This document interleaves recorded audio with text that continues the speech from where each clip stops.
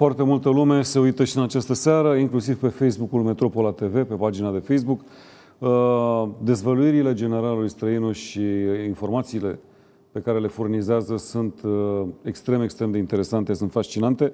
Multe dintre ele, sigur, uh, fiind vorba de premiere sau exclusivități, pot genera reacții de, cum să zic, agresive din partea unor medii hermetice, unor structuri și așa mai departe. Însă e foarte bine să fim deschiși, pentru că alții fac, vorbesc despre asta de mult, alții au dezvoltat tehnici uh, la care noi uh, nici nu visăm în acest moment și e bine să fim pregătiți, să înțelegem că în spatele unor uh, imagini de suprafață există multe alte, să zicem, conotații, culise, decizii, forțe, structuri la un nivel foarte înalt implicate și că de multe ori pentru a putea înțelege mai bine lumea în care trăim, e bine să avem acces la aceste detalii. Uh, și o facem, vom merge în continuare pe această linie pentru că este foarte important, trăim vremuri complicate, iar uh, astfel de surse de informație, de informare, sunt extrem de importante pentru noi pentru a uh, realiza ce ni se întâmplă. Bun, vorbeam despre energia verde, o concluzie pe scurt, este, va fi fezabilă sau e iar o chestie extravagantă a Uniunii Europene și a unor structuri, a unor să zicem, zone economice, unor centre economice care au interese pe termen lung. De ce ne apucăm acum de energie verde când încă mai avem resurse? Adică, practic, fi mai punctual cu întrebarea. Da, de ce renunțăm la combustibilul clasic și la... De ce ne apucăm de zona asta de energie verde? Ne ajută cu ceva treaba asta? Că se spune că e scumpă. Pentru impactul pentru populație nu va fi uh, mare, uriaș? Deci problema trebuie înțeleasă în felul următor. Și uh, într-una din emisiunile tale am spus. În analiza cupolei serviciilor de informație a Statelor Unite, se arată că pentru perioada 2020, e data acolo, 2021 până în 2030-2040, forma de hegemonie a lumii, adică de conducere a lumii, schimba. ea se va schimba total față de arhitectura actuală pe care o cunoaștem. Deși nu convine, nici mie nu convine, nici ție nu-ți convine, nici la alții nu convine. Dar asta este problema. În primul rând se vor modifica centrele de putere. Dar acolo scrie negru pe alb și ți-am citit din document, dacă e nevoie să arăt iară. Spune că în această perioadă, deci Statele Unite vor pierde rolul de lider mondial, rolul acesta fiind luat fie de China, fie de Federația Rusă, rețineți, fie de un grup de state, fie de organizații non-statale. Când spunem de organizație non-statală, nu ne ferim la NATO, la Uniunea Europeană sau la Organizația Națiunilor Unite. Astea sunt organizații statale. Când ne referim în conceptul de organizație non-statală la care se referă serviciile secrete americane, ne referim la organizații care sunt transnaționale organizații transideologice, ca de exemplu grupul Bilderberg, să zicem un exemplu, deși nu el, dar grupul Bilderberg conduce lumea. Uh, clubul de la Roma conduce lumea. Uh, Cavalerii de Malta conduc lumea.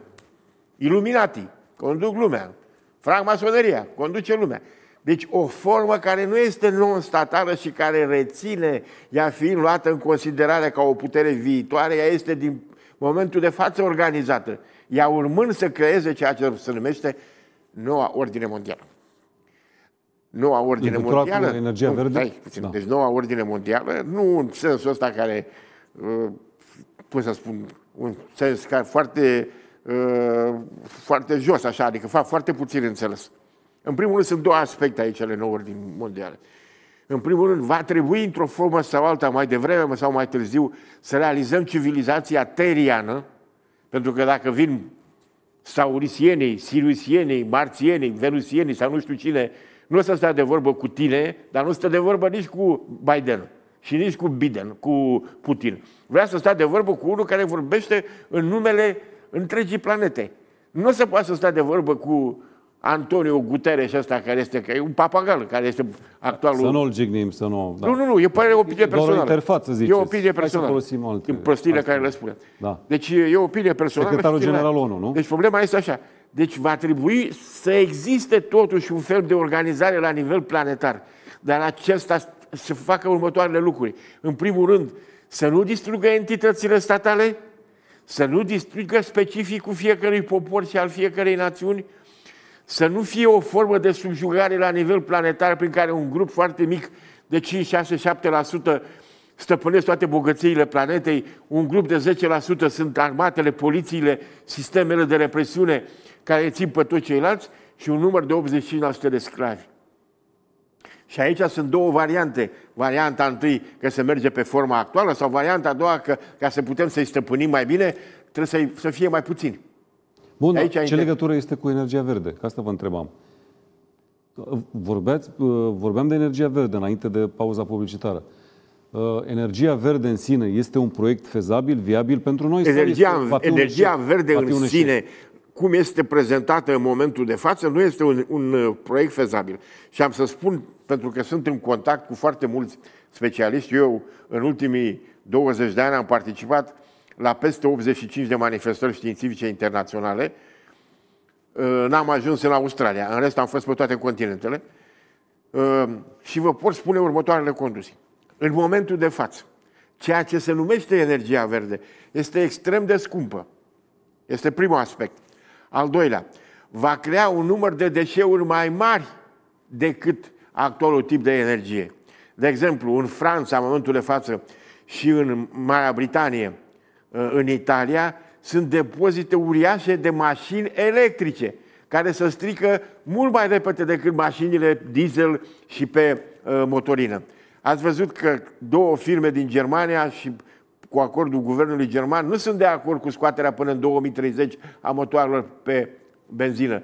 Ce o să faci cu trailere? Ce o să faci cu tirurile astea uriașe? O să meargă pe baterii? Păi o să fie trailerul de 10 metri și încă o remorcă de 10 metri cu baterii? Pentru că asta e tehnologia actuală. A, stai așa puțin.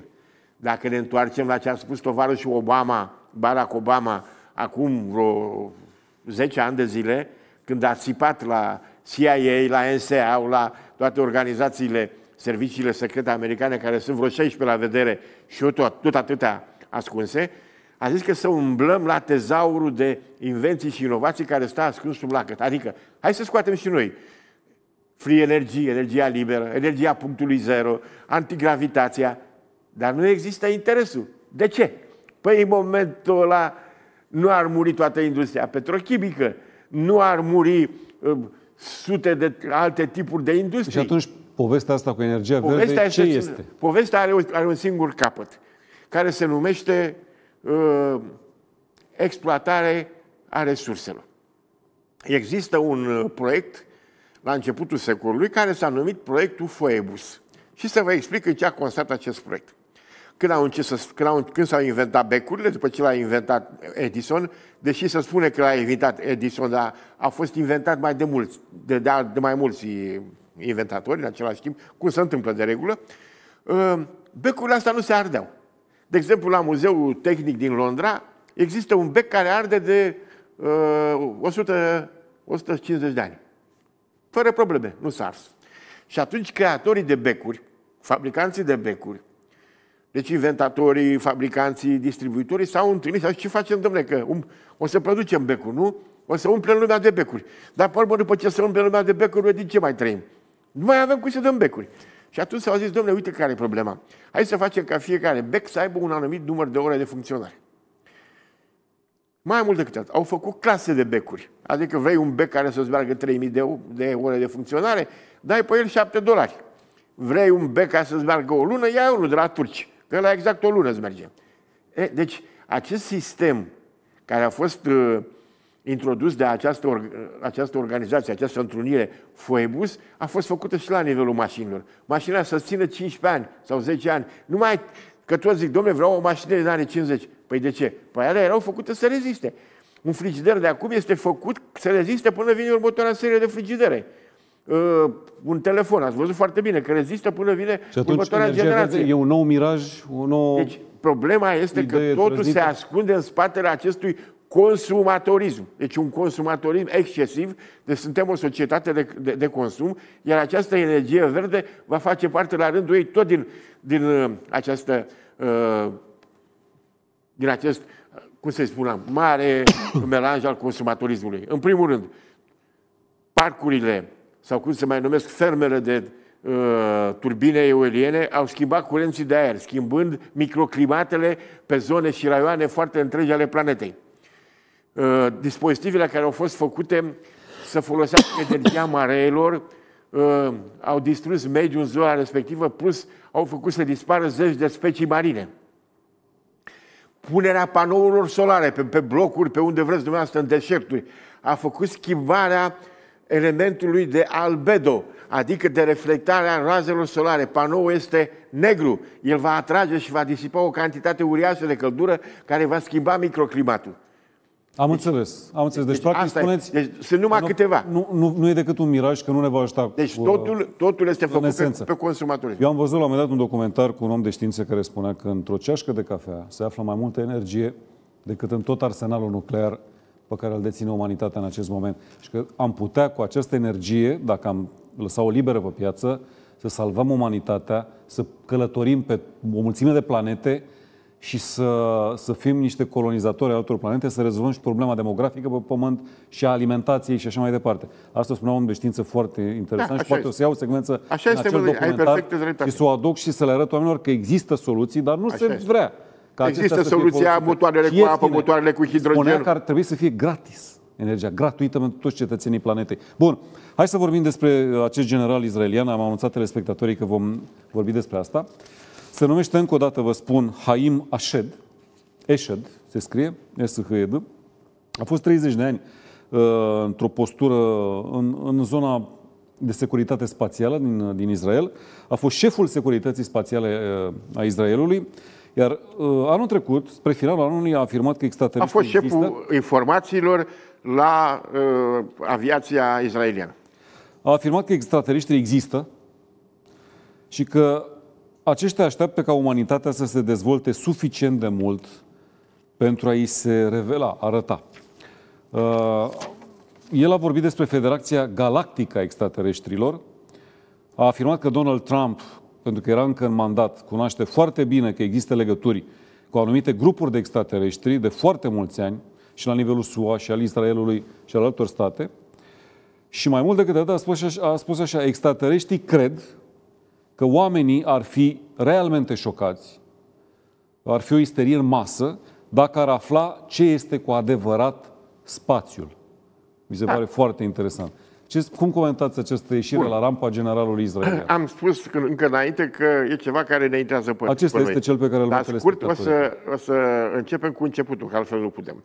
În perioada 1999-2000, uh, la nivelul serviciilor secrete israeliene, cu aprobarea serviciilor secrete americane, s-a pregătit prin programul Y2K, deci este era vestitul virus care trebuia să oprească toate calculatoarele, toate ceasurile electronice, absolut tot la nivelul planetei și uh, înscenarea revenirii Mântuitorului, cele de a, a revenirii Mântuitorului pe pământ.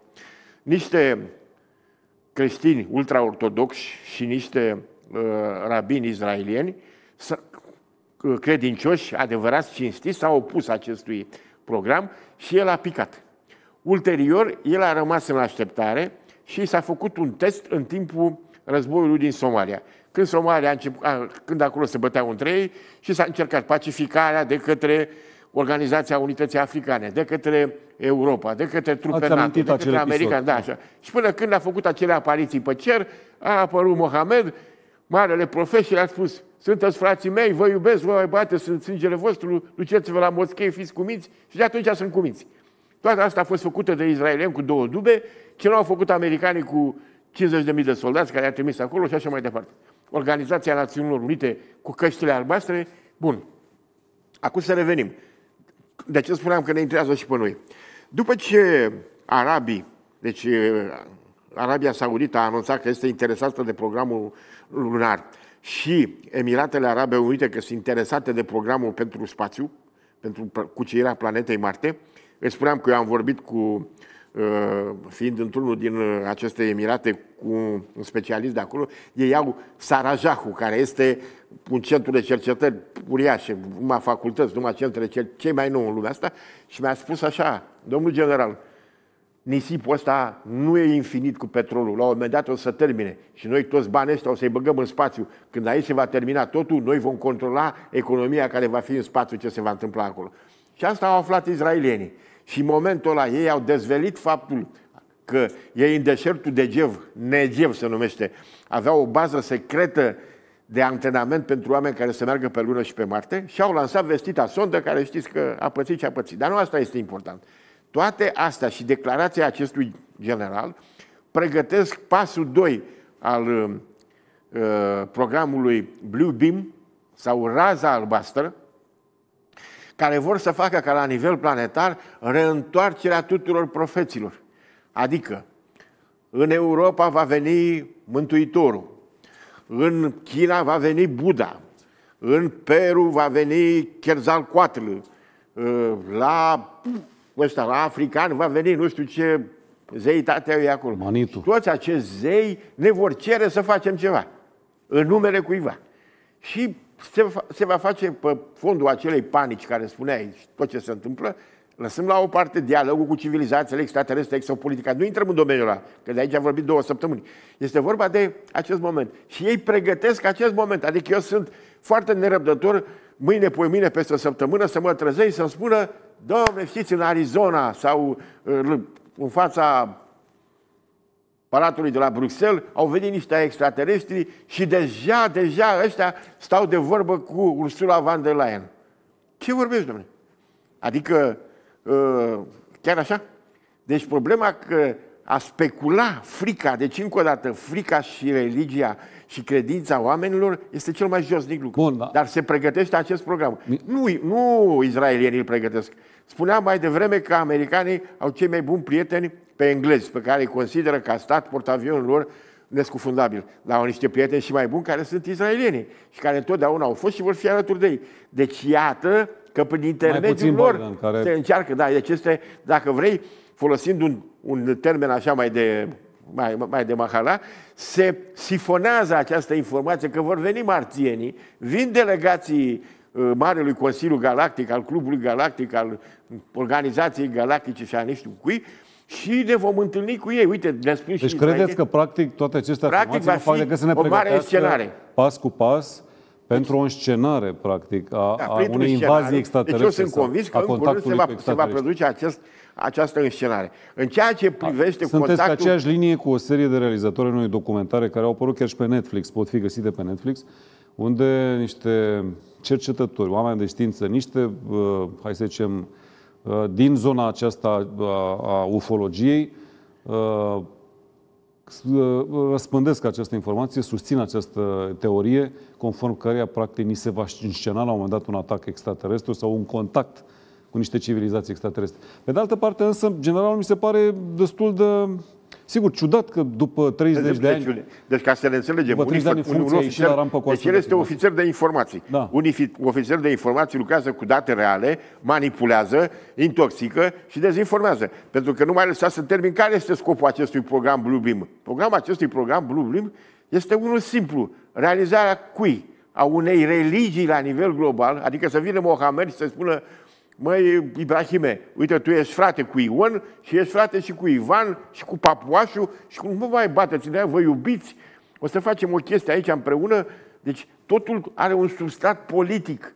Deci și, uh, uh, uh, cum să spun, în spate, pentru că politicul este reprezentat și dus în spate de economic, o chestie economică, adică realizarea statului mondial, realizarea guvernului mondial, a religiei. Asta este programul Blue Beam. Deci sunt foarte mulți oameni la nivel foarte înalt cu care am discutat în ultimii 2-3 ani. Nu se cunoșteau între ei, nu aveau nicio treabă și mi-au spus același lucru. Zice, pregătește-te să nu fugi repede la aparatul de filmat când îți va arăta primul extraterestru. Că va fi un bluff, un fake news. Deci eu am mai spus-o și în emisiune. Am văzut sute de OZN-uri și pe radar, și cu binocul, și cu nu știu N-am văzut niciun extraterestru niciodată.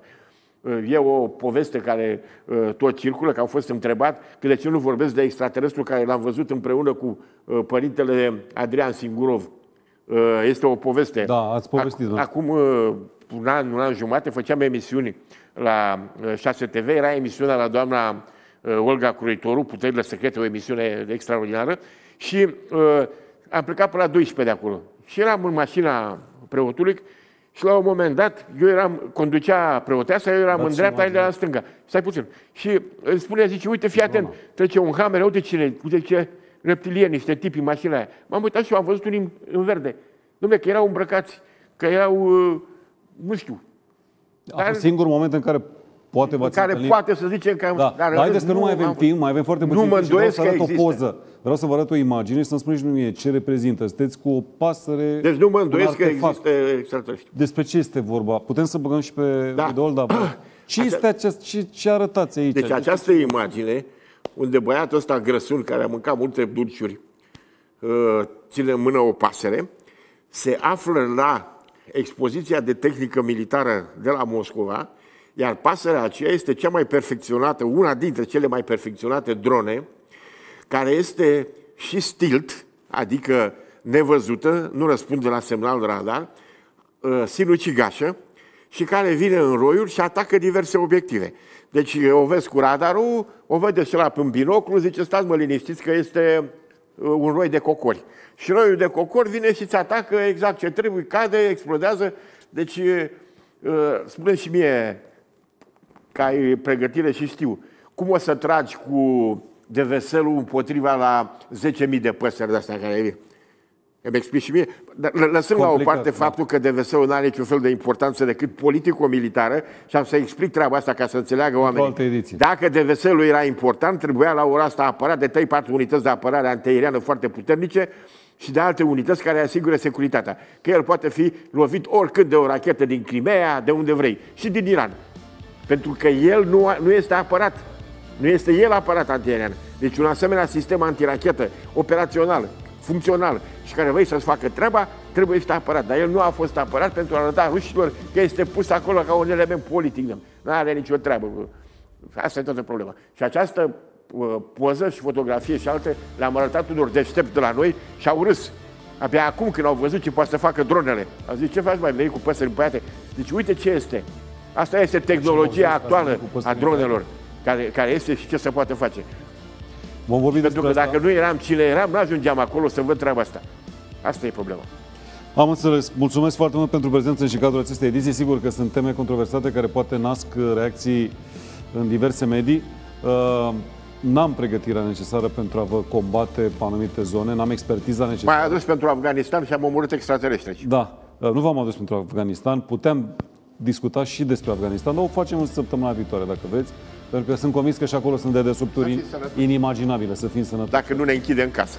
Da, Uh, eu sper să nu și nu cred că până, după, până la finalul lunii septembrie se va întâmpla ceva pe zona asta. O Uh, clipă de asta ne poate lovi oricând, adică. Le mulțumim, Gripa. Le, mul- gripa, da, le mulțumim Aviară, porcină. telespectatorilor care ne-au urmărit. Uh, Hai să nu intrăm în teorii conspiraționiste. Uh, Le mulțumim tuturor celor care ne-au urmărit și în această seară. Urmează Mugur Mihaescu uh, cu noi invitați surprinzători. Rămâneți cu Metropola TV. Ne revedem mâine seară de la ora 21. Surprize, peste surprize. Și de acum, uh, timp de 10 zile, veți vedea lucruri foarte interesante aici la Mădălin Ionescu Show și nu numai pregătim și uh, continuările, continuările de rigoare. Încă o dată vă mulțumesc mult. Ne revedem, sperăm, săptămâna viitoare. Toate bune! thank you